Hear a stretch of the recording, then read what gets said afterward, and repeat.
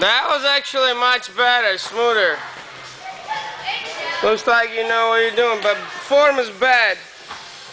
Really bad form.